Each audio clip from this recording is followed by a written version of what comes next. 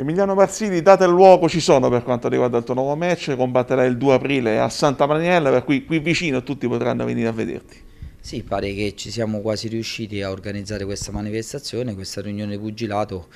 titolo europeo che già sono tre volte che salta, causa Covid e tutta la situazione, sperando che per il 2 aprile il Covid eh, diciamo, ha rallentato questa aggressione che ha e i positivi sono di meno e ci danno via libera per organizzare e per riempire il palazzetto. Come dicevi già più, più volte è stato rinviato questo incontro, quindi come gestire dal punto di vista mentale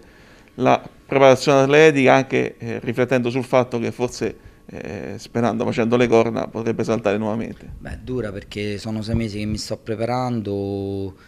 tra tira e molla e niente, gli acciacchi si sentono, i dolori ci sono,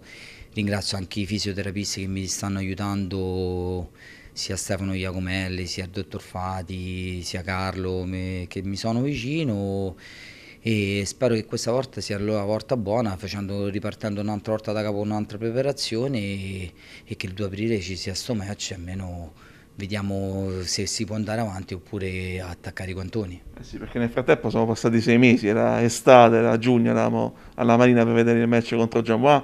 quindi tanta attesa, purtroppo Pugliato spesso accade questo, però adesso c'è questo periodo, due mesi e mezzo di lavoro in vista della sfida con Urchiaga. Sì, devo ringraziare il sindaco di Dei di Santa Marinella con la sua giunta, con l'assessore dello sport,